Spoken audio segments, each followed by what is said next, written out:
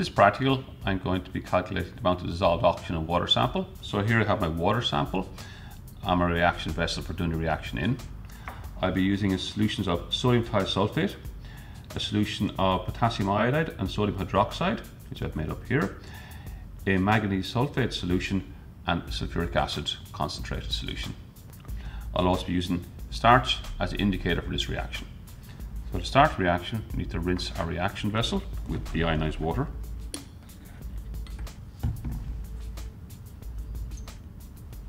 Followed by rinsing with the water sample that we're going to analyze.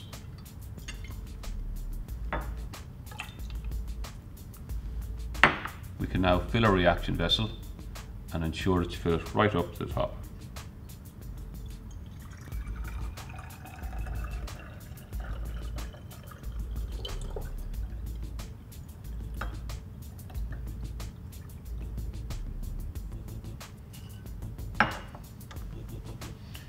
Next, I need to add in the reagents to find out how much dissolved oxygen we have in the water sample.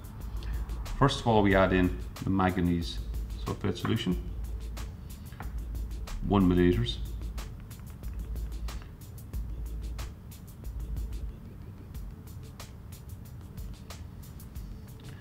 Followed by one milliliter of the sodium oxide hydroxide potassium iodide solution.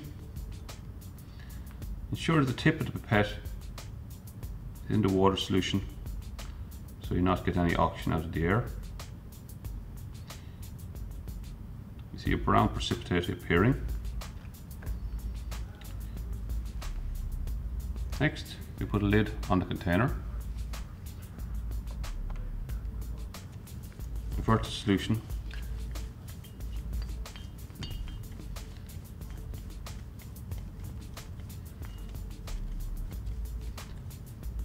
carefully add concentrated sulfuric acid until the precipitate disappears.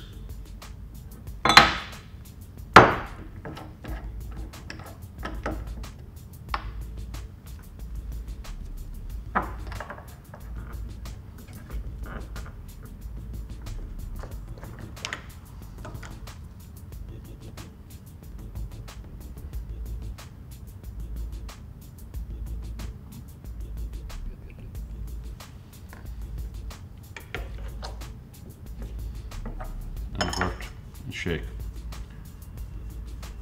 until the precipitate dissolves. And once the cloudiness disappears, we can now start the titration. First of all, we rinse the burette with deionized water. We let that run down through the burette. And then we rinse with the solution it's going to contain, sodium thiosulfate solution.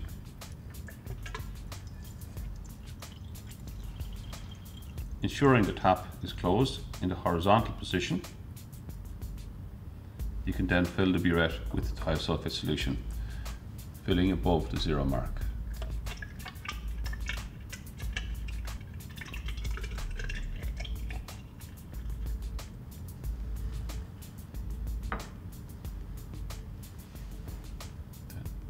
Sure you remove the funnel so there's no drops to drop into solution and then open the tap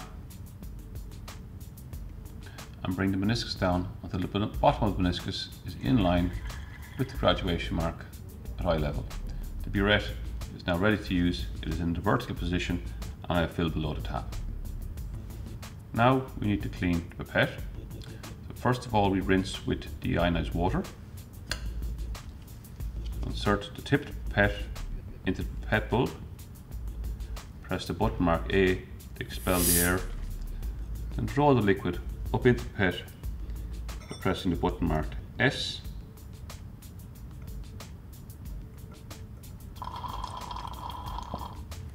Then let the liquid run out.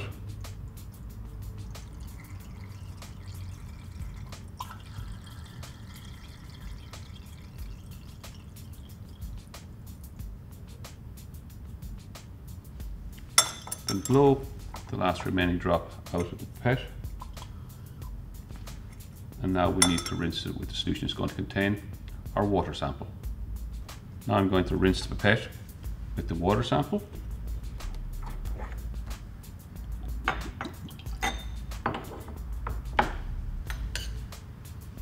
So again, draw the liquid up into the pipette rinse the pipette, then discard that solution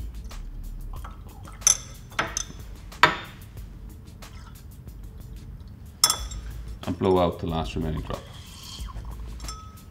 For this titration, we need 100 milliliters of sample. So I'm going to take two measurements of 50 milliliters into my conical flask. So draw the liquid into the pipette and fill the pipette up to the 50 ml graduation mark.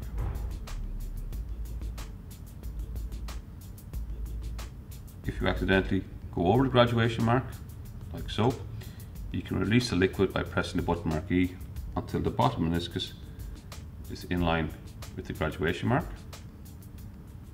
I have now 50 ml in the pipette. I can let this run into my conical flask.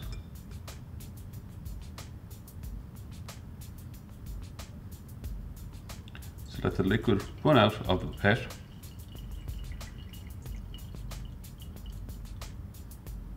Then when the liquid stops dropping, touch the pipette off the side of the conical flask, let the liquid run out, hold for a few seconds,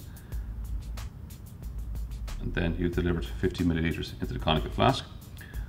I'll now do this a second time, so I'll have 100 mils in the conical flask and ready for the titration. Now that we have our 100 mils of our water sample and our burette is full of our sodium thiosulfate solution, I'm going to slowly add sodium thiosulfate solution until the solution turns straw yellow colour. While constantly swirling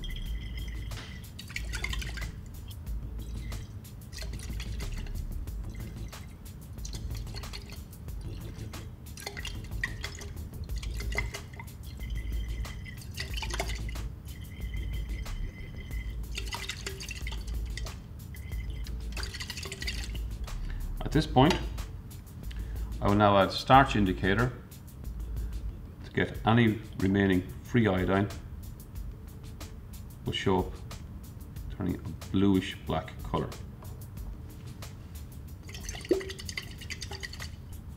This is very near the end point reaction, so slowly add thiosulfate until the solution turns colourless.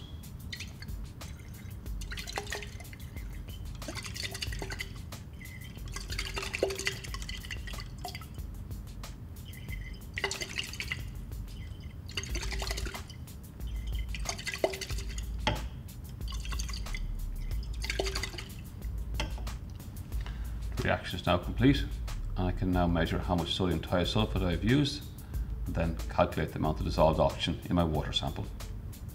With this sample in front of me, I've only half filled the bottle with the water that we're analysing. The remaining of the bottle has got air containing oxygen. You will see that this solution goes a lot darker due to more oxygen in the container. When I add in the sulfuric acid, this will dissolve the precipitate